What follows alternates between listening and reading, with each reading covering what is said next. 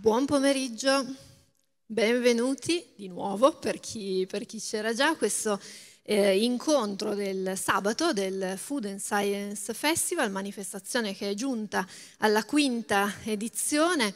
Il tema della, dell'edizione di quest'anno è la nuova stagione e abbiamo provato nel programma raccontare il nuovo che c'è in tanti settori diversi dell'agricoltura e della produzione degli alimenti.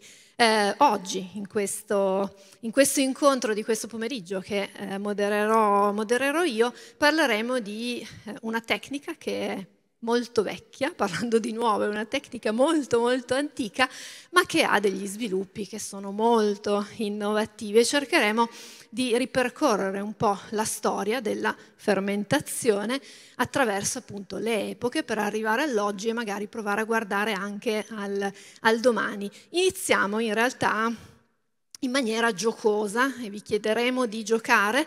Ci saranno, come si dice in queste occasioni, ricchi premi e cotillon, nel senso che c'è fisicamente un premio, anzi tre premi, mi, mi confermano, tre premi per i primi tre classificati in un eh, quiz.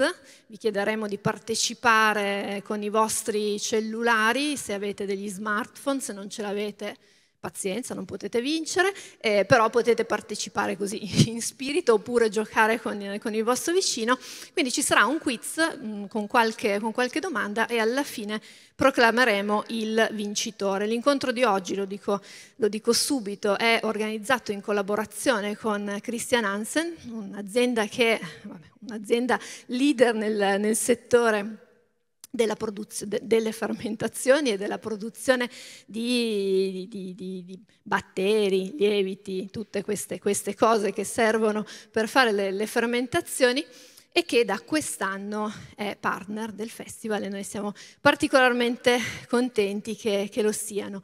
Um, il quiz non lo conduco io per vostra fortuna, ma lo conducono due bravissime eh, divulgatrici, un po' giornaliste, un po' nutrizioniste, insomma due personaggi che hanno una formazione tecnica, scientifica e che però hanno fatto del racconto della scienza il loro, il loro mestiere e sono Alessandra Biondi Bartolini e Antonella Losa che, a cui chiedo di salire sul palco e che sono tra le altre cose, eccole. Grazie. Buongiorno.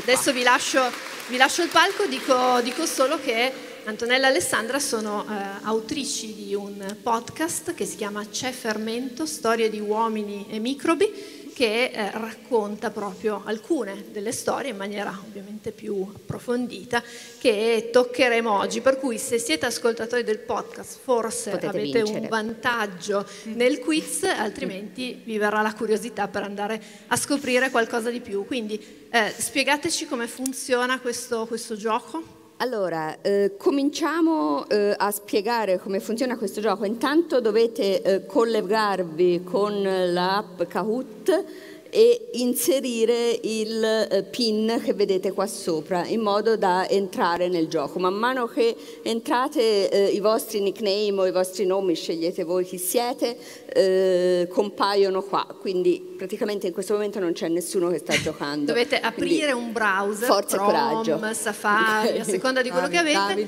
scrivere www.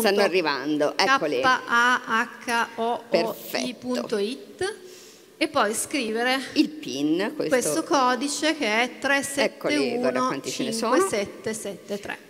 Ci sono anche gli amici che ci seguono in streaming, partecipano anche loro, quindi eh, anche da fuori con eh, Kahoot si possono collegare e stanno diventando tanti. Eh, che cosa si farà? Eh, intanto eh, questo è un gioco, l'abbiamo chiamato gioco aperitivo perché è un gioco in cui ci si conquista l'aperitivo, come quei giochi che si fanno al, nei villaggi turistici all'ora dell'aperitivo, ora un po' presto, però insomma va bene lo stesso. E eh, per conquistarsi l'aperitivo faremo delle domande su eh, degli alimenti e su delle bevande in modo che alla fine eh, potrete avere una bevuta e un alimento, qualcosa da mettere sotto i denti. Che cosa hanno in comune gli alimenti e le bevande di cui parleremo eh, e su cui vi interrogheremo? Eh, eh, sono tutti bevande e alimenti che sono ottenuti eh, da un processo di fermentazione, ovvero che da secoli, anzi da millenni, le, gli uomini e i popoli ottengono con l'aiuto dei microrganismi, lieviti e batteri, che hanno fatto questo percorso parallelo alla eh, nostra storia, finché a un certo punto eh, non li si sono scoperti, ma loro lavoravano già per noi, inconsapevolmente ovviamente, eh, non li si sono scoperti e quindi la, eh, quello che è stata l'esperienza e eh, l'applicazione empirica è diventata applicazione scientifica e poi applicazione industriale. Eh, cosa faremo? Vi proponiamo per ogni alimento bevanda quattro personaggi e vi chiederemo chi di questi ha incrociato la sua storia, la, eh, la sua storia la sua vita con gli alimenti fermentati che eh, sono oggetto della domanda. Prima di tutto, naturalmente, parleremo di bevande alcoliche e eh, facciamo un, ovviamente un richiamo a eh, quello che è un consumo consapevole degli alcolici ritenendo in maniera eh, convinta che ovviamente il consumo di alcolici, quando è accompagnato alla conoscenza e alla, eh, al sapere e alle storie, è sicuramente un consumo più consapevole, che poi deve essere ovviamente anche moderato. Siamo quasi 110, io magari oh, scendo, scendo, dal palco, vado là e manovro, manovro il quiz, vorrei okay. solo far notare che abbiamo già una persona avvantaggiata perché malolattica secondo me qualcosa sa. Comunque io scendo. Abbiamo anche Battiato, Coca-Cola che non è eh, una bevanda fermentata nonostante le bollicine e aspettiamo anche Davide Birraio gioca in Mi casa. sa che almeno una la becca, eh, Sicuramente. Eh, raio, occhio e croce. Sì. E non so, sono 109, partiamo. Partiamo. Quindi inizia allora tutto quello che c'era da dirvi su eh, come si svolge il gioco lo abbiamo detto, quindi 3, 2, 1. Pronti? Via, questa è il, eh, la copertina del nostro podcast, ma passiamo subito alla prima domanda che è di Antonella e Ed parla. È, eh, vediamo chi di questi personaggi è entrato nella storia o nella scienza del pane tra San Francesco, Tutankhamon, un cercatore d'oro e Papa Innocenzo III.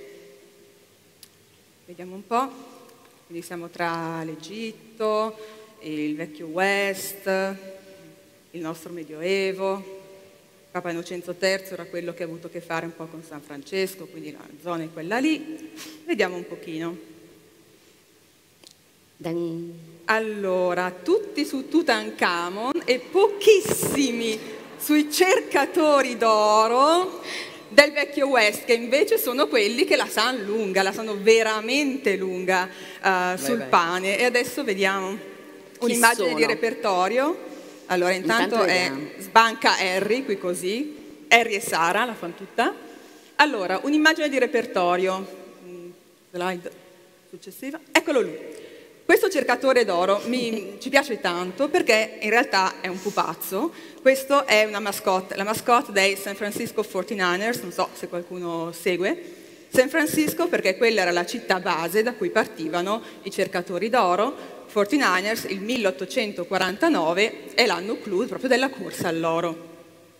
Questa, questo mascotte si chiama Sourdough Sam, Sam pasta madre, perché in quei tempi pasta madre era diventato il sinonimo di cercatore d'oro. E questo succedeva perché i minatori si portavano con sé la pasta madre, perché loro partivano da San Francisco, andavano sulla Sierra Nevada, ci stavano per un lungo tempo quindi ogni tanto con la pasta madre potevano farsi del pane e del pane che rimaneva per tanti giorni, a differenza di quello fatto con il solo lievito. E inizia così una tradizione che la, la portano gli europei in America, infatti non è, è un po' controintuitivo pensare all'America e al pane fatto con la pasta madre. Mm, ma la gran parte dei cercatori d'oro erano immigrati e tanti migravano dall'Europa ed è dal nord della Spagna che arrivano coloro che portano appunto la pasta madre. E inizia una tradizione che va avanti ancora oggi a San Francisco come panificazione diversa da tutto il resto d'America. Eh, quindi loro eh, iniziano questa tradizione e lo usano così tanto che appunto il soprannome diventa pasta madre. Eh, una delle paste madri che è stata per prima poi studiata anche a livello microbiologico e si è visto che il grande dei giochi lo faceva un lattobacillo nella fermentazione e lievitazione eh, di questo pane, un lattobacillo che quindi prende proprio il nome di Lactobacillus sanfranciscensis. Perché sì, nella pasta madre, a differenza di quando lievitiamo col solo lievito, ci sono tantissimi lattobacilli. Allora, cosa comporta questo? Quando lievitiamo con il solo lievito, è solo lievito e uno solo, il Saccharomyces cerevisiae, che è bravissimo a fare una cosa che è gonfiare. Lui produce dagli zuccheri che arrivano dalla farina tantissima CO2 e questa gonfia il pane. Splendido, però si ottiene un pane che ha una vita abbastanza breve. Mentre con eh, la pasta madre si ha un pane un po' meno gonfio, ma che resiste più a lungo. Questo perché nella pasta madre mm, c'è un rapporto 10 a 1 tra lattobacilli e lieviti. I lieviti sono in netta minoranza e il cerevisiae è in netta minoranza tra i lieviti. Uh, cosa fanno i lattobacilli? Acidificano, mangiano anche loro gli zuccheri che arrivano dalla farina, ma producono acidi e questo è meraviglioso perché abbassando molto il pH succede che l'ambiente che si forma è assolutamente poco ospitale per uh, tutti quei batteri o microrganismi che non desideriamo. Per questo motivo il pane fatto con la pasta madre eh, è più salubre ed è anche conservabile un po' più a lungo. Perfetto, quindi andiamo avanti e la domanda successiva abbiamo qualcosa da mangiare e adesso prenderemo qualcosa da bere. Chi fra questi è entrato nella storia o nella scienza del vino? E abbiamo Napoleone III, Cristoforo Colombo, Einstein o Rudolf Steiner. Quindi la storia del vino ovviamente è millenaria, abbiamo dei personaggi eh, diciamo mediamente abbastanza moderni, a parte Cristoforo Colombo, ma abbastanza moderni però qualcuno di loro ha avuto un ruolo nella storia o nella scienza del vino. Eccoci. Allora, Vince Rudolf Steiner e invece la risposta giusta è Napoleone III. Rudolf Steiner è l'inventore dell'agricoltura eh, biodinamica, in realtà non parla mai di vino, anzi non ritiene le trasformazioni adatte alla, alla viticoltura biodinamica, quindi per Rudolf Steiner al tempo l'unico prodotto biodinamico può essere l'uva o il succo d'uva, quindi un prodotto diretto della terra.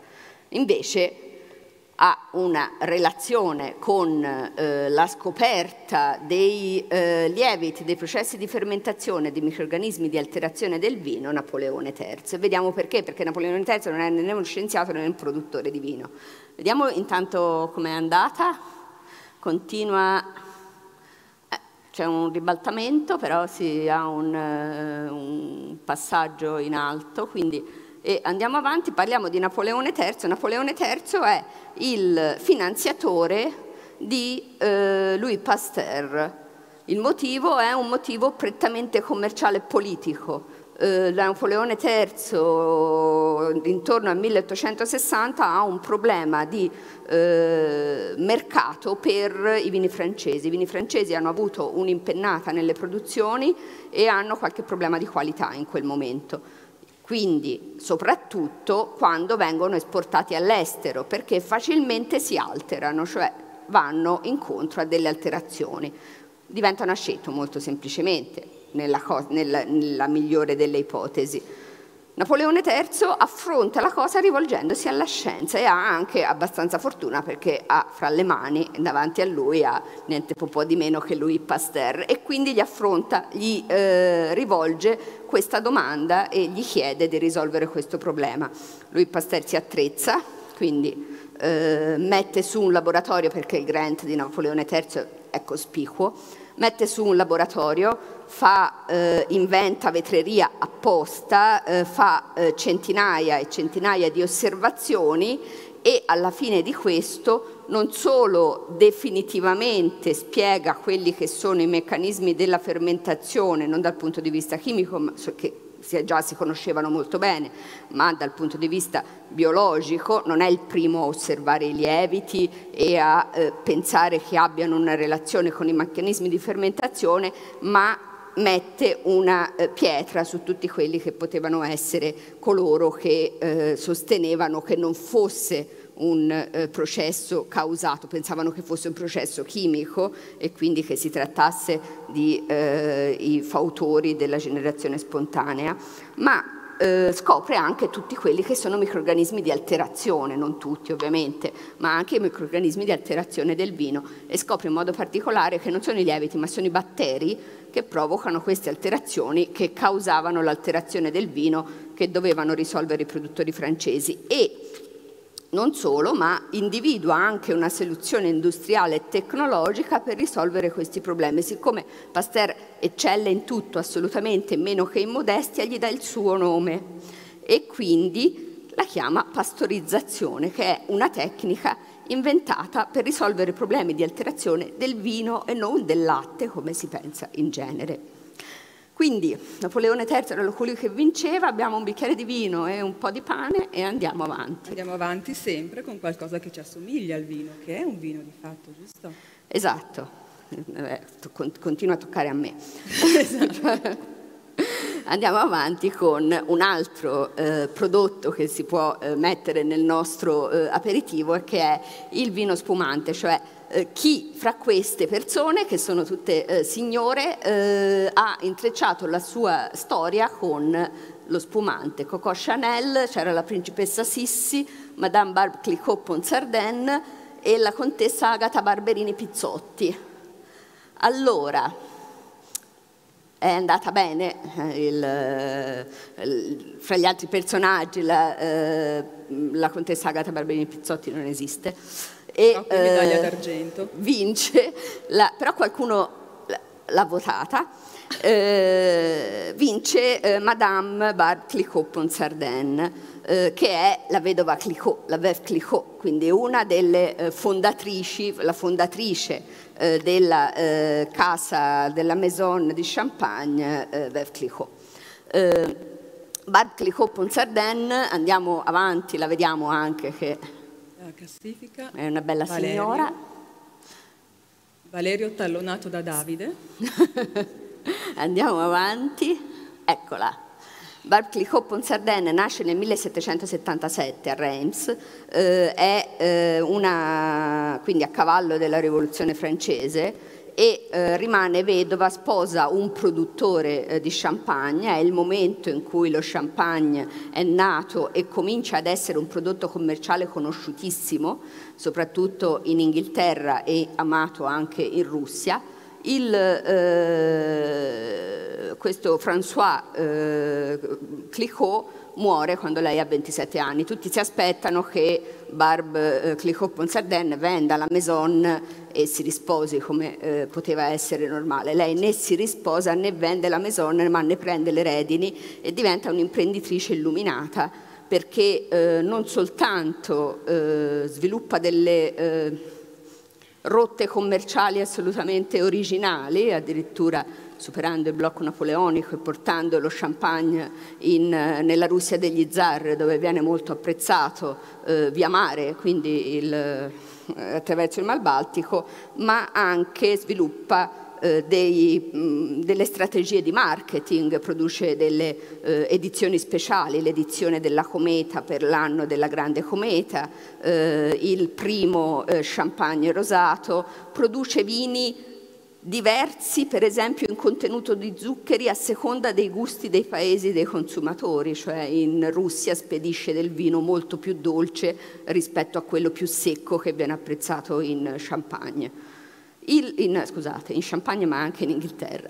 Il, dal punto di vista tecnico inventa una tecnica che è la tecnica eh, che eh, ci permette di bere dello champagne e dello spumante limpido, perché lo champagne deriva dalla doppia fermentazione eh, del vino, quindi è un vino che viene rinoculato con i lieviti della fermentazione alcolica Saccharomyces cerevisiae, aggiunto di zuccheri e il prodotto che a questo punto ci interessa, che è l'anidride carbonica, si sviluppa all'interno di un ambiente eh, confinato e quindi sviluppa pressione e quando si apre sviluppa le bollicine. Ma il lievito è dentro la bottiglia, per cui la, il, il vino sarebbe torbido e eh, Barbecue Ponsarden insieme ai suoi tecnici inventa quel eh, strumento che vedete quando andate a visitare le cantine che si chiama pupitre, che è quel cavalletto eh, inclinato dove si pongono le bottiglie che progressivamente vengono inclinate per portare i lieviti tutti sulla punta e poi vengono eliminati con un'operazione che si chiama di dégorgement. Quindi il eh, lo spumante, anzi lo champagne, lo abbiamo messo nel eh, nostro aperitivo e possiamo andare sì, avanti. Allora, bere abbiamo bevuto, mangiamo qualcosa, altrimenti si sa che l'ebbrezza. Allora, formaggio. Chi di questi personaggi c'entra col formaggio? Charlie Chaplin, Fra Bernardo di Chiaravalle, la principessa Sissi o Victor Hugo. Quindi anche qui spaziamo un po' per tutta Europa e, e oltre. Vediamo un po' chi vincerà tra queste. Abbiamo religiosi e meno religiosi, abbiamo dei letterati. Vediamo per chi batte il vostro cuore. Uno. Dove andiamo? Dove andiamo? Vediamo. Perfetto, perfetto, perfetto. Allora, i cistercensi. Allora, intanto prima vediamo la classifica come si sta muovendo. Eh, Valerio, niente, Davide, Davide ha superato Valerio, siamo al photo finish, veramente. Allora, vediamo cosa hanno fatto i cistercensi, quindi. Uh, ok, i cistercensi un millennio d'anni fa si spostano da Cluny e vengono in Valpadana e uh, tappezzano la Valpadana di abbazie, come sappiamo, tutte in posti o sia assolati, pensiamo a Mirafiore, Chiaravalle, uh, e anche con un buon approvvigionamento di acqua. Fontevivo, mm, queste, I nomi dicono già molto. Questo perché? Perché questo mix di elementi permetteva loro, loro nelle abbazie eh, di, queste, di, questa congregazione c'erano sempre dei grandissimi possedimenti ehm, ad agricoltura, no? quindi c'era bisogno di irrigazione e c'era bisogno di dar da mangiare bene agli animali da soma, che erano bovini. Bene, questo mix di elementi consentiva di avere del foraggio già molto buono, molto nutriente, a partire già dal mese di marzo. Uh, quindi questo serviva per l'agricoltura, per gli, gli, animali da soma e quindi anche per le vacche. Vacche che quindi nei, dopo i parti primaverili si trovavano ad avere un latte molto grasso e in abbondanza, ma naturalmente nelle abbazie non si poteva buttare via niente e questo latte era molto di più di quello che poteva servire per il sostentamento dei frati. Allora hanno messo in atto una una tecnica di conservazione del latte che è la caseificazione e in particolare la caseificazione fatta come loro l'avevano sviluppata in Borgogna ed è così che nasce il nostro grana che nella nostra storia è il primo importante formaggio di latte di vacca perché fino ad allora il formaggio l'avevamo dai tempi dei romani e via andare, ma era in grandissima parte caprino e pecorino. Ecco il grana che comincia la storia del formaggio di latte di vacca. Mm, siamo quindi un millennio di anni fa. Questo grana non è il grana di oggi, fino a fine Ottocento ha, ha diversi problemi, il più grosso è quello del gonfiore tardivo quindi una volta che è già nelle forme che maturano, queste forme, un'ottima parte purtroppo di queste forme si gonfia, si gonfia il contenuto, si spacca in delle crepe molto ampie, diventa spugnoso e anche maleodorante, perché durante la maturazione succedeva che dove mm, gozzovigliavano, quindi crescevano microorganismi che non erano desiderati, che non vanno bene. Uh, le sorti cambiano a fine Ottocento quando un personaggio che si chiama Giuseppe Notari, Casaro lui è figlio di Casari, eh, fa delle osservazioni molto pragmatiche che incuriosiscono molto eh, Pellegrino Spallanzani. Quindi da, dalla loro collaborazione, quindi uomo di pratica e uomo di scienza, nasce la tecnica del siero innesto che cambia completamente la storia di questo formaggio. Il siero innesto significa prendo il siero, della, che è lo scarto di produzione della sera prima, lo lascio lì una notte e il mattino dopo lo metto in caldaia con la produzione del formaggio del giorno dopo. Cosa succede durante la notte? Che nel sero innesto eh, del lattobacilli, e in particolare in questo caso il lactobacillus helveticus, acidificano moltissimo quell'ambiente eh, modo, e prolificano in modo tale che una volta che li rimetto in caldaia, tutto l'ambiente della caldaia diventa acido a sufficienza per rendere veramente la vita molto difficile proprio a quei microorganismi che mi avrebbero creato poi in futuro eh, il problema del gonfiore tardivo. Quindi da un anno all'altro, come viene impiegato il siero innesto, eh, le forme che buttano via, che vengono scartate, diminuiscono di oltre il 50% e aumentano della stessa proporzione le forme di prima qualità. Quindi il guadagno dell'allevatore del casaro raddoppia nel giro di un anno e finalmente diventa un mercato che ha più senso. Da lì lo sviluppo poi non si è mai frenato di, di questo fantastico formaggio.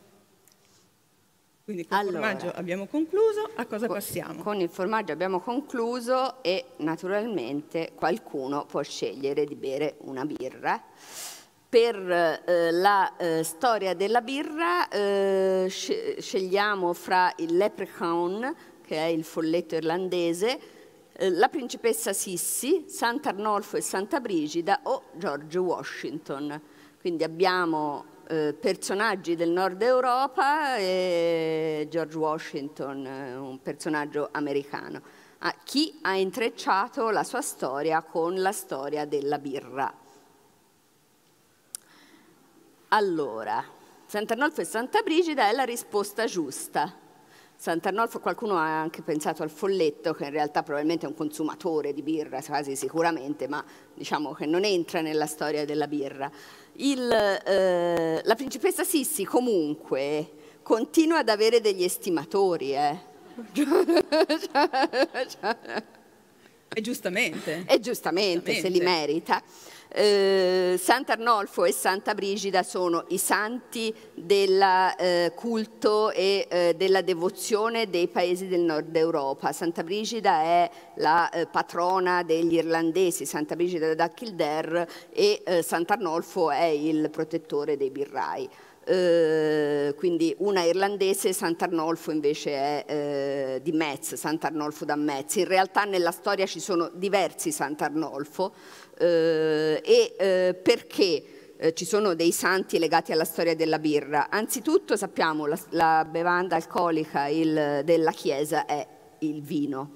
Però quando il, eh, la Chiesa, la, eh, la, religione cristiana arriva nei paesi del nord trova già un grande consumo di birra e quindi chiude un po' un occhio. Quindi la birra per i paesi del nord è un po' anche già un simbolo di indipendenza da Roma, ma c'è anche un altro motivo per cui questi santi e nei loro miracoli e nelle loro storie di santi ci sono tutto un fiorire di miracoli in cui loro trasformano l'acqua in birra. Vi faccio un esempio. Eh, Santa Brigida a un certo punto accoglie un pellegrino. Il pellegrino ovviamente viene accolto, fa il bagno, ma Santa Brigida purtroppo non ha niente da offrirgli dal bere e quindi trasforma l'acqua in cui aveva fatto il bagno in birra e lo può dissetare. Eh, mentre Sant'Arnolfo durante la trasposizione delle sue spoglie eh, più di 5.000 pellegrini e fedeli seguono questa trasposizione che avviene a luglio e hanno caldo e sete, ma passano attraverso un paese dove c'è un'osteria che ha un unico boccale di birra che per miracolo ovviamente, come nella moltiplicazione dei pani e dei pesci, basta per dissetare più di 5.000 fedeli. Perché questo? Perché in realtà c'è un motivo di eh, natura igienico-sanitaria. Eh, nei eh, paesi del nord molto spesso sia i eh, religiosi, quindi che hanno un, un, ruolo istituzionale, sia le stesse istituzioni, anche i re, suggeriscono oppure ordinano di consumare birra anziché acqua. Il motivo è che l'acqua in quel periodo, in determinati periodi, può essere un veicolo di epidemie, mentre la birra non lo è, perché la birra per due motivi può essere eh, diciamo, un prodotto più, più, sano, nel senso che non fa male, non che fa ah. bene. Eh, il, perché?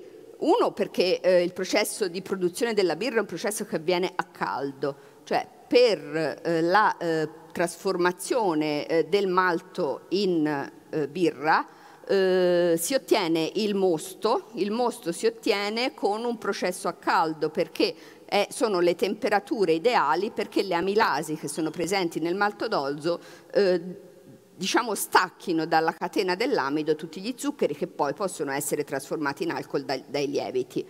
Eh, per interrompere questo processo il mosto viene bollito, quindi tutto quello che c'era prima poteva essere eh, interrotto, tutti i processi, tutti i microorganismi che potevano essere presenti prima vengono interrotti, poi gli sono e cerevisiae che comincia a fare la fermentazione alcolica e quindi quel po' di eh, alcol che eh, fa, e le birre eh, antiche avevano poco alcol generalmente, eh, però quel po' di alcol serve per preservare la birra da una successiva contaminazione e quindi veniva consumata e anche consigliata di, eh, di essere, ad essere consumata anche dai bambini, per esempio, tutti dovevano consumare birra anziché acqua in quel momento.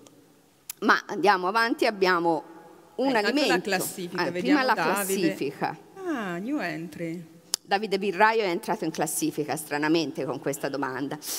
E eccoli i due santi che trasformano l'acqua in birra. Abbiamo quindi l'ultimo alimento che è lo yogurt, quindi chissà chi è entrato nella storia dello yogurt. Sarà stata Chi non ha mai Heidi, fatto l'aperitivo con uno yogurt?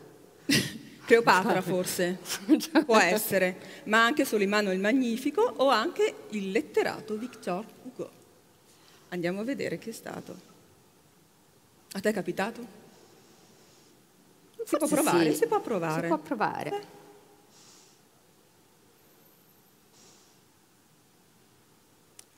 Abbiamo 113 risposte, vediamo chi la vince. Ci siamo. Eh, Solimano il Magnifico ed è anche la risposta Bravi. esatta. Heidi solo 7. allora, Solimano il Magnifico. Siamo fine 400, quasi 1500, eh, l'impero ottomano è al suo massimo splendore, anzi lo porta lui al suo massimo splendore innovando, innovando moltissimo, aprendo la mente in tema politico e non politico, in maniera pratica, prendendo territori e anche con qualche eh, nuova alleanza fino ad allora mai praticata dai regnanti di quell'epoca, perché lui è un infedele, hm, non cristiano, si allea con il sovrano di Francia, quindi un sovrano cristiano, Francesco I. Da questa alleanza politica ne traggono giovamento entrambi, perché tutti e due sostanzialmente hanno un nemico in comune, gli Asburgo, ma Francesco I ne trae un giovamento anche dal punto di vista della salute. Allora, di questa storia ci sono tantissime versioni e qua ne proponiamo una, ed è questa. Allora, Francesco I, sovrano, onnipotente, potete immaginare la Francia di quell'epoca, eh, inizia a soffrire però di un male, mh, anche qui molte versioni, diciamo che quella più diffusa dice gastroenterite, ma una gastroenterite che mh, tutti i medici del regno non riuscivano a curare e lui si stava consumando. Allora, anche se un po' riluttante, chiede consiglio all'alleato, perché ha detto la medicina dalle vostre parti è diversa che dalle nostre, vuoi mai che si trovi la soluzione? Allora Solimano il Magnifico pare gli abbia mandato una nave con il proprio medico di corte e una capra. Arrivano alla corte di Francia, eh, il medico munge, la munge lui la capra, non toccatela agli altri, e lontano da occhi indiscreti versa nel latte qualcosa. Il latte si trasforma, sembra magia, si trasforma in qualcosa di molto più viscoso, fresco, gusto acido, quindi un antenato dello yogurt di fatto, e a furia di assumere questo alimento, insomma, Francesco I guarisce laddove nessuno dei suoi medici era riuscito a guarirlo. Immediatamente battezza questo antenato dello yogurt il latte di vita eterna. Quindi lo yogurt entra in Europa a fine 1400 come latte di vita eterna. La cosa curiosa intrigante è che questa aura di longevità gli rimarrà anche quando lo si comincerà a studiare in maniera più scientifica. Passano 400 anni, arriviamo a fine 800 all'Istituto Pasteur e c'è un personaggio uno scienziato di cui è impossibile non innamorarsi, che è Ilya Mechnikov, che è un personaggio eccessivo, istrionico. Il braccio destro di Pasteur lo chiamava il demone della scienza, perché quello era il suo temperamento, quello era il suo aspetto. Eh, era senza dubbio un visionario, ha preso delle topiche clamorose, ma ha avuto anche delle visioni incredibili, infatti prende anche un Nobel per la medicina per alcune di queste visioni. E sullo yogurt cosa, cosa pensa? Pensa questa cosa, che è la chiave per la longevità. Uh, lui dice sostanzialmente, se lasciate la carne lì, imputridisce. Se lasciate il latte lì, non imputridisce, ma diventa yogurt. Quindi l'acidità, e lo yogurt ne è un testimone, in qualche maniera è l'antidoto alla putrefazione. Ora lui eh, sosteneva che noi invecchiamo perché ci sono dei fenomeni putrefattivi all'interno del nostro intestino e quindi la sua idea era mangiare fermenti che acidificano molto e questo può essere fatto in una matrice alimentare come lo yogurt, fa arrivare là l'antidoto alla putrefazione e quindi ci fa vivere più a lungo. Ora poi non è esattamente così, però se vogliamo in questa visione ci sono due linee tracciate proprio per il futuro, che è il futuro di adesso. Una linea è che l'intestino abbia un ruolo sulla salute del nostro organismo al di là delle funzioni intestinali e questo è, è, un campo che è in enorme sviluppo a livello di studi proprio in questi anni, da, da un decennio, ma forse di più, ma è, è veramente in, in salita. E l'altra è l'intuizione che gli alimenti fermentati, alcuni alimenti fermentati, possono fare qualcosa di utile all'interno dell'intestino. Se noi pensiamo a come stanno crescendo anno su anno gli studi sull'equilibrio del microbiota intestinale, beh, allora assomiglia a qualcosa. Non era come l'aveva vista lui, ma indubbiamente era in questo caso davvero un visionario. E con questo e abbiamo... quindi noi abbiamo... Vediamo anche però Solimano il Magnifico, eccolo lì. E adesso vediamo, facciamo la classifica. Vediamo la classifica finale. Il podio. Mm?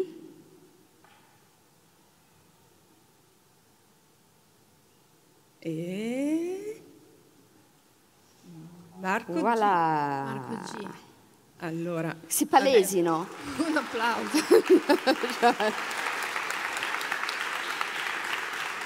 Ci sono? Ci sono? Allora, la, la, proposta che abbiamo è di fare la premiazione alla fine dell'incontro, perché ci sono effettivamente i premi eh, e se ci sono Marco G, Sil e Sam, rimanete.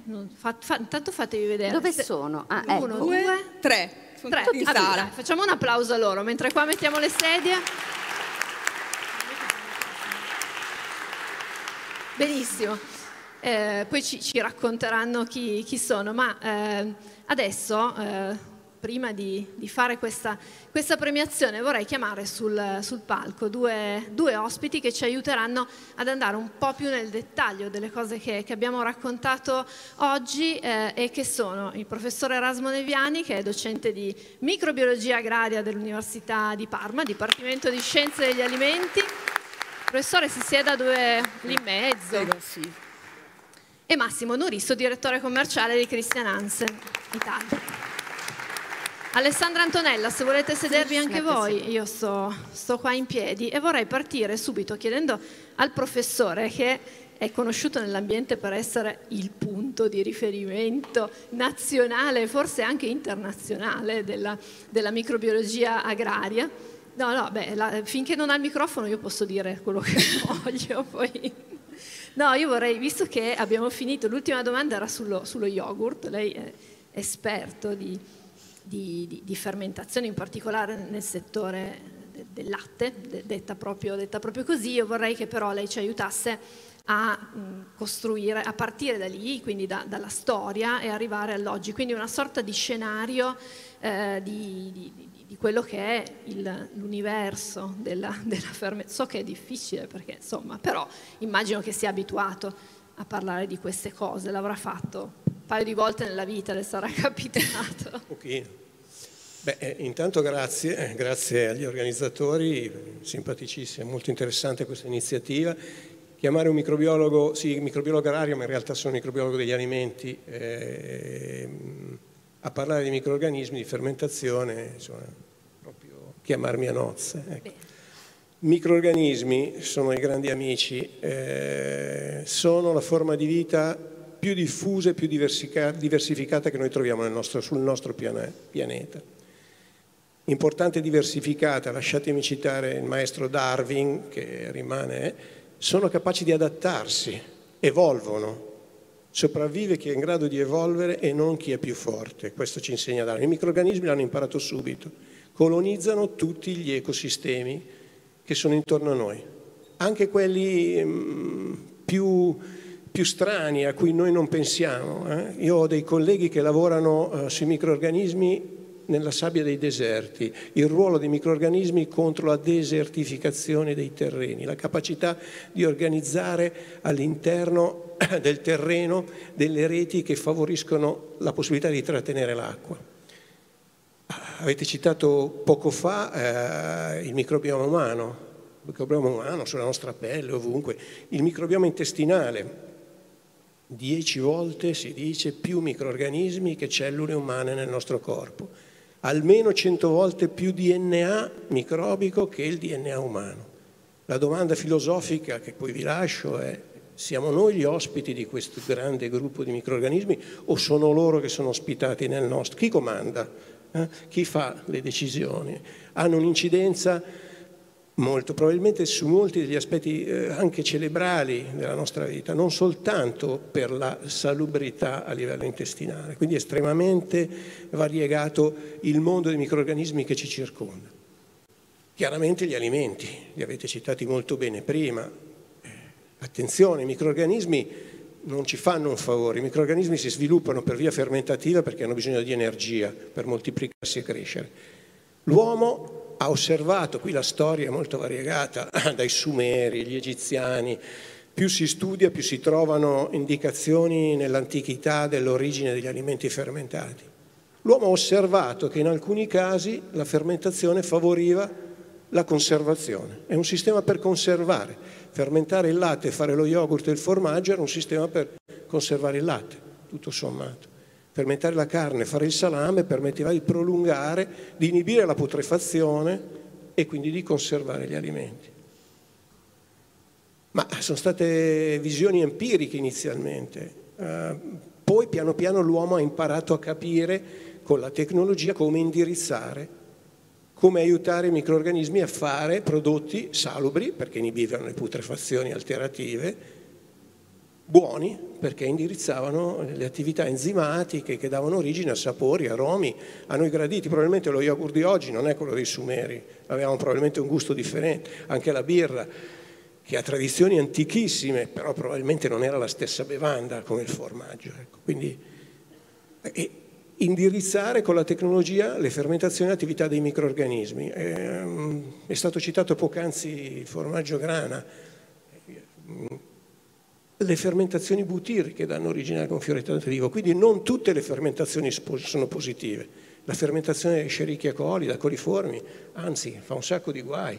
Quindi l'uomo diventa determinante nel capire, studiare e indirizzare tramite delle scelte tecnologiche ma non solo gli alimenti. Se qualcuno di voi ha avuto il piacere di visitare Expo, c'erano i padiglioni dei paesi orientali, la Corea, si entrava in un mondo di fermentazioni antichissime a noi non note, fermentazioni di vegetali, fermentazioni di substrati di diversa natura, che fanno parte di una tradizione e una cultura che ci è lontana. Noi siamo abituati qui nella pianura padana ad avere la nostra storia, ma c'è molto intorno e quindi un mondo da valorizzare grazie ai microorganismi. Nel mio gruppo a Parma, in particolare la professoressa Bottari, che è una collega, ha fondato il gruppo di microbi amici. Eh?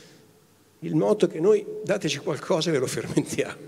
Qualsiasi cosa, abbiamo una collezione di microorganismi enorme in grado di essere utilizzata. Poi eh, quali siano gli scopi eh, dipendono dalle indicazioni anche del periodo. In questo momento noi dobbiamo trovare il modo di recuperare sottoprodotti, scarti. Ecco, i microorganismi possono essere estremamente utili nel fermentare anche quello che in passato non era interesse fermentare che oggi, grazie a una situazione che si è modificata del nostro ecosistema, noi, noi insieme ai microorganismi condividiamo l'ecosistema. Dobbiamo imparare a collaborare per sopravvivere insieme e quindi utilizzarli al meglio. E nell'utilizzarli al meglio la fermentazione è lo strumento direi principale. Grazie professore. Non è troppo lungo, no? No, no, anzi, potrei parlare per dalla ore. passione. Ma ci mancherebbe, ma infatti, ma meno male. Eh, tra l'altro mi ha fatto venire in mente che qualche anno fa è venuto qui al festival un, eh, un archeologo che va alla ricerca del- de- de- dell'origine degli alimenti e in particolare del vino, della birra, è andato a infilarsi dentro a tombe sumere, eccetera, e aveva ricostruito la ricetta eh, del- di, di- quella proto-birra, chiamiamola così, e l'ha anche riprodotta e ce l'ha fatta bere terribile, cioè veramente imbevibile. Per cui fa pensare che effettivamente si può lavorare sulla fermentazione, si può lavorare sul controllo no? anche del, del processo ed è quello che, che vorrei chiedere a, a Massimo Nurisso perché voi in azienda di fatto fate questa cosa qui, cioè cercate di cercate, ci riuscite anche a controllare il processo, a modificarlo per direzionare la fermentazione dove volete andare voi. Se hai voglia di, eh, ti do del tu, scusami, se hai voglia di, di raccontarci un po' eh, quello che fate in, in azienda e come lavorate su questo, su questo controllo. Sì, volentieri, grazie. Eh, sono contentissimo di essere qua perché la fermentazione mi appassiona, questo ci accomuna tutti qua sul palco, come penso si veda, e in particolare io ho iniziato a occuparmi della fermentazione, eh, il ruolo della fermentazione e della trasformazione del latte. Eh, finito l'università sono andato a lavorare in caseificio, un'azienda agricola, un piccolo caseificio, e ho fatto anche due stagioni in alpeggio in Val d'Aosta. Cosa c'entra questo? Perché ehm, producevo fontina della Val d'Aosta DOP e una volta al mese più o meno i tecnici del consorzio del DOP venivano in azienda, entravano in cantina e controllavano tutte le fontine prodotte per essere sicuri che corrispondessero agli standard di qualità. Quindi venivano con il loro martelletto, battevano, guardavano, assaggiavano per essere sicuri. La prima stagione ho avuto il 90% di forme autorizzate a DOP. Bene, ma non benissimo, perché vuol dire che il 10% non, non si potevano vendere come DOP e quindi si, si potevano vendere a un prezzo molto più basso. Il proprietario dell'azienda non era contentissimo di questo.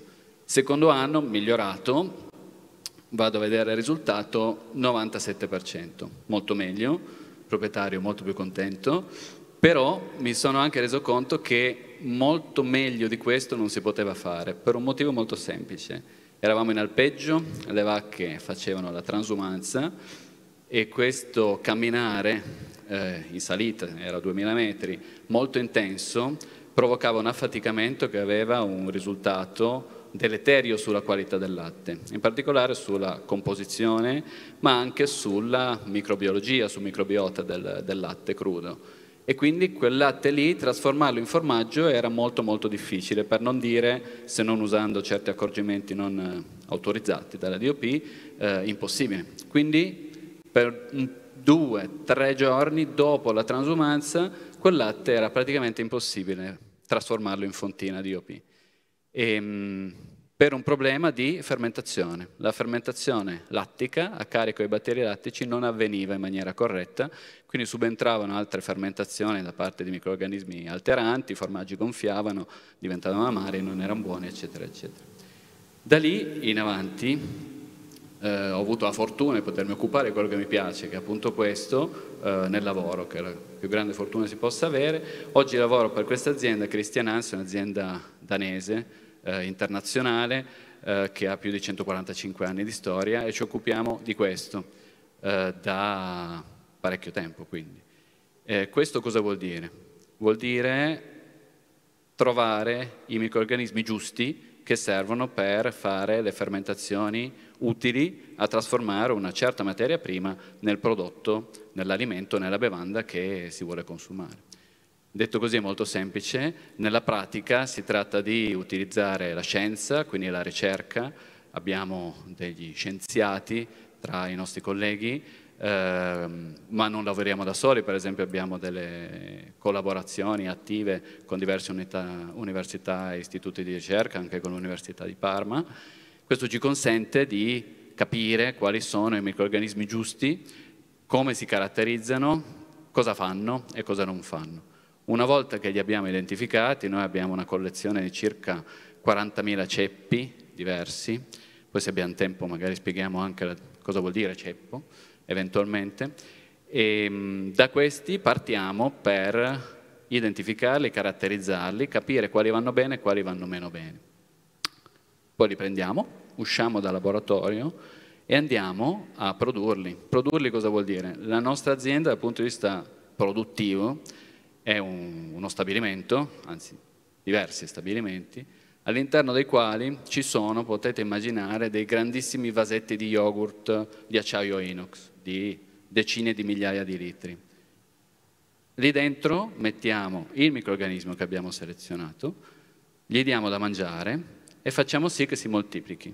Si moltiplica, si moltiplica fino a raggiungere una popolazione molto molto concentrata, quindi un numero di cellule batteriche vive che è quello che ci serve. Dopodiché questo, chiamiamolo yogurt, viene separato, la parte che è uno scarto, dalla parte che sono i batteri.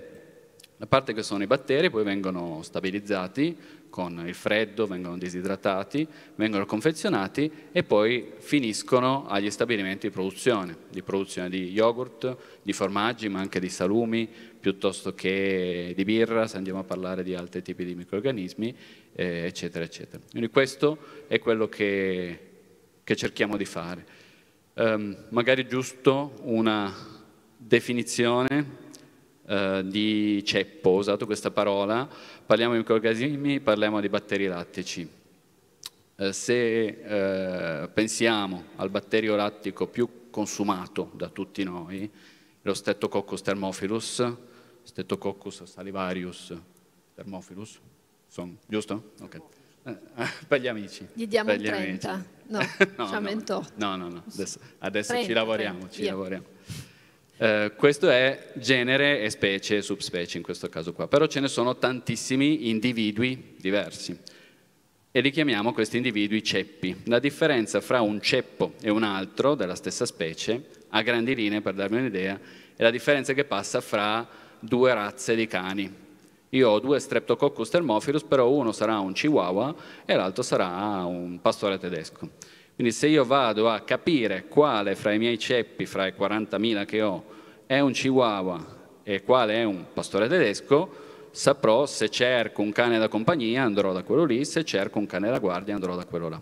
Questo è il lavoro estremamente semplificato che fanno i nostri colleghi della ricerca. Il lavoro successivo è produrli su grande scala e andarli ad utilizzare in modo tale che poi lo yogurt abbia le giuste caratteristiche di sapore, di struttura, che sia più dolce, più acido, più denso, più cremoso, piuttosto che il formaggio che abbia una certa consistenza, un certo sapore, che possa conservarsi di più o conservarsi di meno. Grazie Massimo Nurisso, io mi, mi aggancio a, nostro, a questa storia e al nostro percorso che è partito dal passato ma che vuole andare, vuole andare verso il futuro per chiedere ancora al professor Neviani ehm, un commento, un racconto eh, su un tema eh, di cui in questi giorni al festival stiamo parlando tantissimo, che è quello della, della, sostenibilità, in generale non tanto sostenibilità intesa come parola vuota, no? che, di, di, cui, di, cui, si fa spesso un abuso, ma come appunto applicazioni concrete no? che, che, che vengono messe in, in, campo dalle aziende, dagli agricoltori, da tutti i vari, eh, vari eh, esponenti no, della, della, filiera agroalimentare. Quindi vorrei capire se eh, la fermentazione può avere un ruolo all'interno di, questo, di questa ricerca di, maggior, di, un minore impatto, insomma chiamiamolo così, non chiamiamola sostenibilità. Sì, è una domandona in realtà, Vabbè, però... la faccio a lei, mica, mica no, nel passa, senso insomma. che giustamente... giustamente. Eh, Sicuramente sì. Allora, sostenibilità per noi vuol dire riuscire a dar da mangiare a una popolazione che cresce e cresce in maniera differente nei diversi posti del mondo, dargli del cibo sano, dare la garanzia dell'accesso al cibo, perché questa è la priorità, ma che sia cibo sano per tutti e darlo in modo che il pianeta non esaurisca giustamente le sue risorse. Io sono certo che con la scienza e con la tecnologia troveremo delle soluzioni e tra le soluzioni la fermentazione è una di queste. Proprio perché abbiamo un patrimonio di microorganismi diversificati, i vari ceppi, diverse specie, tenete conto che il patrimonio microbico è immenso e continua a essere modificato, quindi la nostra capacità di selezionare, di scegliere il microorganismo utile ad uno scopo è, è veramente enorme. E possiamo cominciare a pensare a che cosa fare per rendere più sostenibile la produzione di alimenti. C'è tutto il tema del recupero degli scarti. Molta della ricerca che stiamo facendo in questi anni è la capacità di utilizzare degli scarti, dei sottoprodotti dell'industria alimentare e che invece di essere buttati eh, oppure con spreco comunque di energia, fermentarli per ottenere eh, nuovi prodotti alimentari, nuove molecole, molecole che possono essere ad esempio interessanti sia in campo medico ma anche in campo produzione di aromi, o produrre energia o produrre biomassa e in ogni caso trovare il modo di diminuire l'impatto ambientale derivato da questo scarto. Esempi vi posso fare, stiamo lavorando per rifermentare le croste del pane che a volte vengono scartate. Otteniamo degli ottimi prodotti, abbiamo delle collaborazioni in atto, sembra strano. Ma visto una croste... birra fatta in questo modo? Assolutamente, assolutamente. ma adesso Abbiamo dei colleghi che fermentano la pappa reale, che fermentano il miele, che fanno l'idromiele, cioè ci sono studi diversificati, poi la resa economica va studiata, va studiata e va considerata in un sistema molto diverso. Eh, Voglio dire, la pianura padana è diverso delle, delle, dei territori sconfinati del Sud America o dell'Africa. Certe cose che sono sostenibili qua non lo sono là. Il consumo porta a porta, il chilometro zero nel centro dell'Argentina non ha lo stesso significato che intorno a Parma. Eh? Quindi dobbiamo essere in grado di utilizzare, di provare a utilizzare le soluzioni giuste, i microorganismi giusti, perché devo parlare di microorganismi, per ottenere, per proporre delle soluzioni innovative adatte alle diverse... La fermentazione dei vegetali, noi stiamo fermentando frutti, bacche, le buccette del pomodoro, adoro questa cosa, questa, in questo territorio le bucce dei pomodori sono uno scarto che se fermentato può dare aromi, biomassa, prodotti. Poi L'ottimizzazione del percorso tecnologico andrà discussa, eh, voglio dire, il siero è stato citato poc'anzi, che non è, non, ormai non è più per questioni economiche uno scarto, anzi è quasi quasi stato un periodo che il formaggio era un sottoprodotto del siero, perché veniva riutilizzato in tanti modi. Ma eh, c'erano delle bevande fermentate a base di siero nel nord Europa che venivano consumate e nei nostri paesi non c'è stato verso, ai consumatori non piacevano. Quindi la ricerca di soluzioni di questo tipo eh, permette poi di articolarle in relazione ai diversi territori e alle diverse popolazioni, ma il problema rimane quello di trovare soluzioni che rendano meno eh, oneroso l'impatto ambientale delle produzioni alimentari, non solo delle produzioni alimentari, in realtà il problema più ampio. I microorganismi possono essere una soluzione anche al di fuori del settore alimentare ripeto, abbiamo trovato dei microorganismi che puliscono gli arazzi, che, tolgono, che aiutano nella, nella piazza di, eh, di, a Pisa, di fianco a Pisa, hanno trattato con dei microorganismi le superfici dei muri per togliere degli scarti e hanno trovato che in questo modo era più facile trattare e pulire dei colleghi di microbiologia agraria, noi siamo faccio il tifo per la mia categoria. Quindi sicuramente eh, dalle fermentazioni impariamo anche, come dicevo prima, dalle culture diverse dalla nostra, che fermentavano matrici che per noi erano inusuali. Quindi le soluzioni ci sono, bisogna trovare il modo di renderle economiche facendo delle scelte tecnologiche e in questo contesto avere delle collezioni microbiche delle possibilità diversificate di utilizzare microorganismi capaci di fare cose diverse è estremamente importante e facilita molto eh, la possibilità di riuscire ad applicare queste idee effettivamente nell'economia reale. Certo. Il professore ha parlato a un certo punto di consumatori che, a cui non piacevano le bevande fermentate ehm, a partire da, da, dal siero e devo dire che lo capisco anche perché comunque insomma, già l'idea no? non è che almeno per noi forse questa cultura qui fa, fa, un po' strano, così come faceva strano il kimchi coreano, poi adesso va, va molto di moda.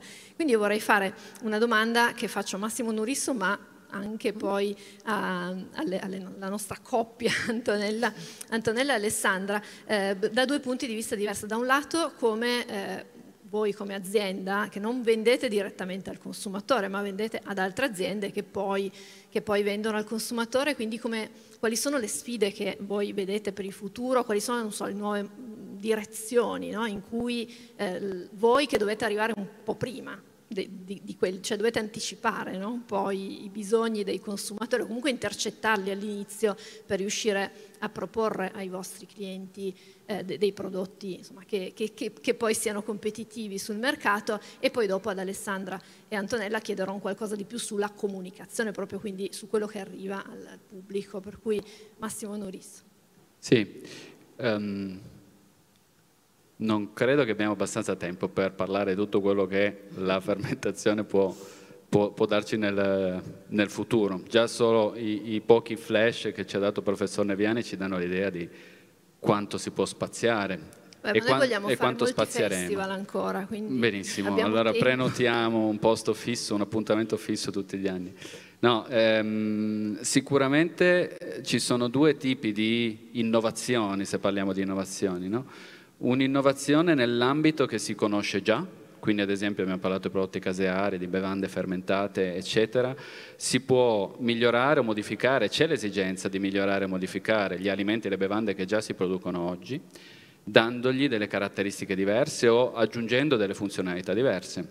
Se parliamo di nuovo, solo per fare l'esempio, dei latti fermentati, gli yogurt di cui parlavamo prima, abbiamo detto prima durante il quiz che la fermentazione lattica è, ha avuto successo e si è sviluppata perché era un modo di conservare alimenti ricchi ma altrimenti deperibili e si è scoperto, la scienza ha scoperto che i batteri lattici conservano ad esempio il latte fermentato non solo grazie all'acidità che producono, ma anche grazie ad altre funzionalità.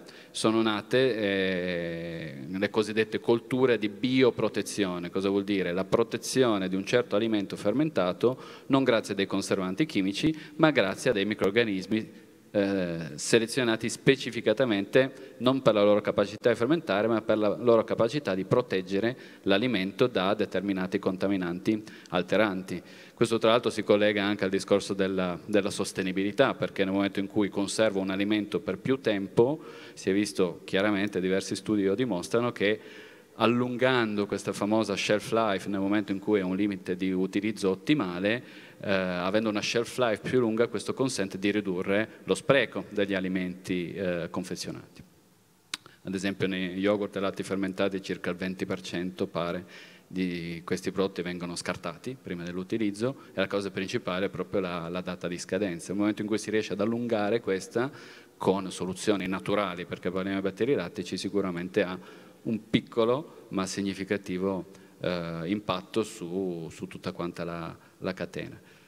Innovazioni come queste ci sono, pensando al consumatore, l'incrocio eh, culturale, come diceva il professore prima, è fondamentale, prodotti di altre culture che magari non incontrano il gusto tradizionale ehm, di un certo paese, ma incontrano l'interesse e la curiosità magari di consumatori più giovani, questo è quello che si vede chiaramente, stili di vita e stili di alimentazione che sono relativamente nuovi, ad esempio per paesi molto tradizionali come il nostro, eh, tipo gli alimenti, base, gli alimenti, fermentati a base vegetale, eh, hanno una, un successo anche di, di, consumo enorme, quello che noi cerchiamo di fare è una cosa molto semplice, eh, non essendo, non vendendo il consumatore finale, eh, cerchiamo di parlare con i nostri clienti che invece vendono a, a tutti noi, ai consumatori finali. Parlando con loro e poi utilizzando ovviamente aziende di consulenza che riescono a capire quali sono un po' i trend di consumo del futuro,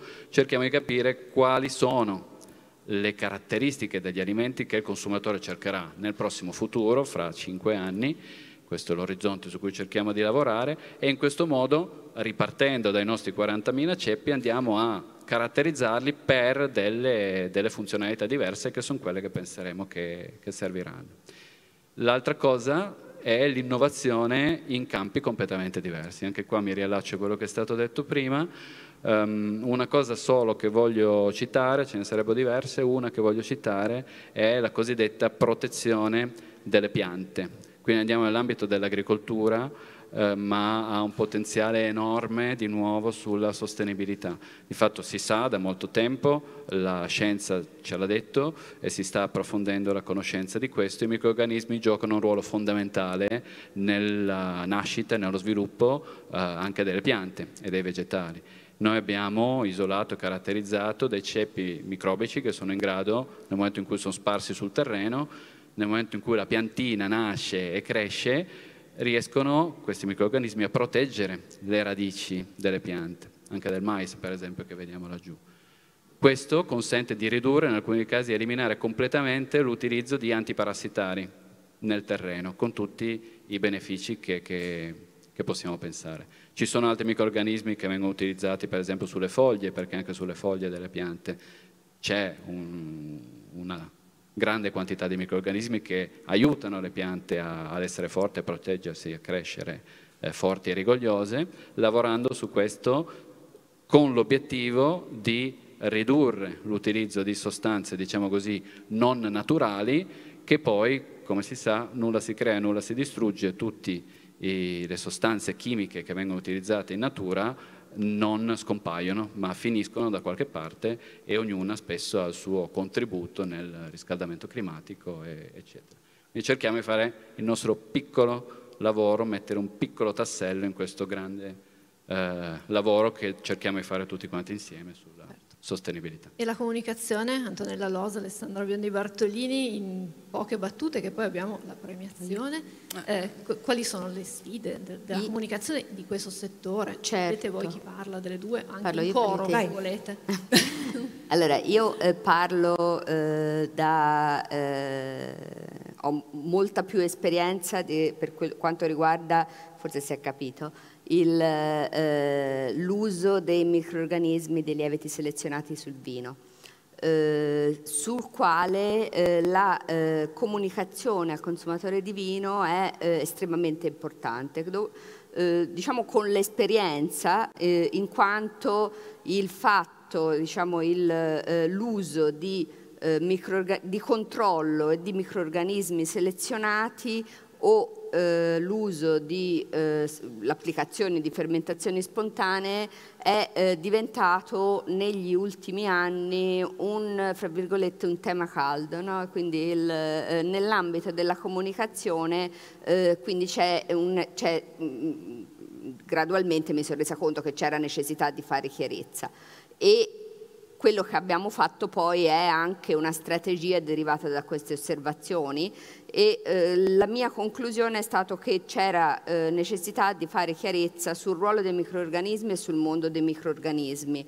Eh, perché quello eh, che eh, mancava era proprio quello che diceva il professor Neviani prima, di capire che i microorganismi fanno il loro lavoro indipendentemente da noi e quindi quello che noi applichiamo è un eh, controllo, ma eh, il microorganismo di essere un microorganismo in una fermentazione spontanea o di essere stato selezionato non lo sa.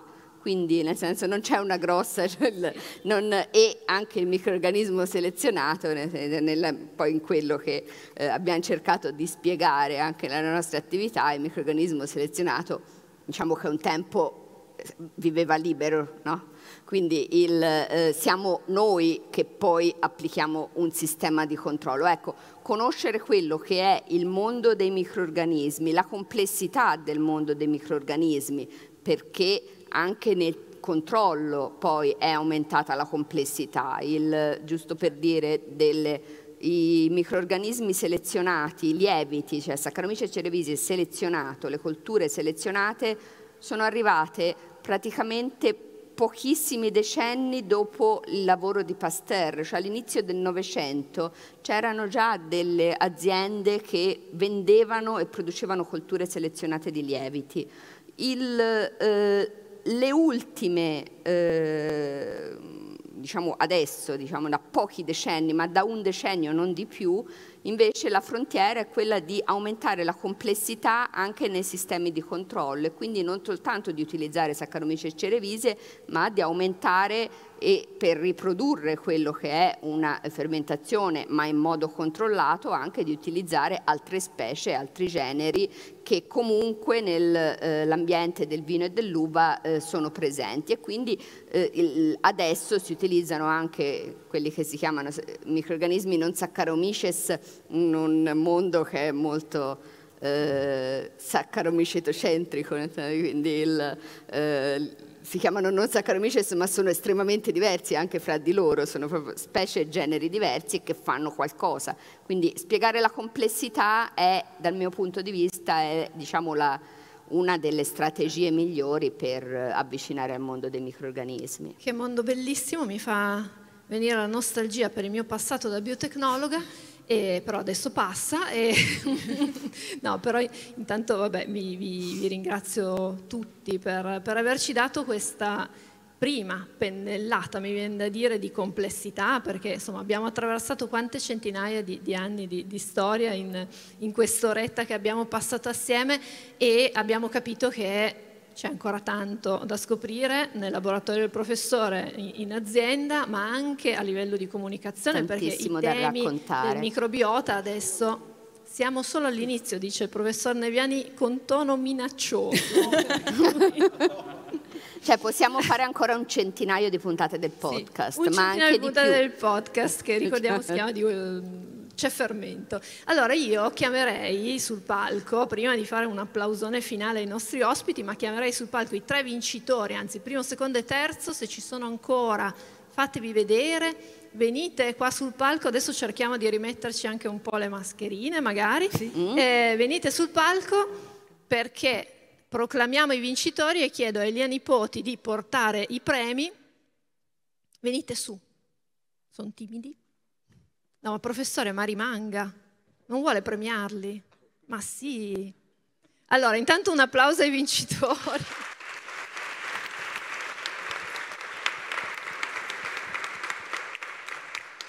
Eh, chi è Marco G? Sei tu. Allora, Marco G. Sil Sil, Sem, ok. Allora, so, magari il primo fa il professore, no? Va bene, il professore. Che cosa c'è in questi, in questi premi? Ah, ce lo dice Elia. Ok, perfetto. eh beh sì. Glielo dà il professore. Qua dovremmo mettere la musica. Bel momento. Tipo, We are the champions. Elia, hai voglia di... Pu- puoi raccontarlo se vuoi. Vabbè, sì. Ci sono dei, beh, dei, gadget Christian Hansen e poi ci sono dei prodotti fatti appunto con le nostre colture, quindi sono dei prodotti fermentati. E poi nel, per il primo primo c'è anche appunto un manuale sulla fermentazione per approfondire il tema.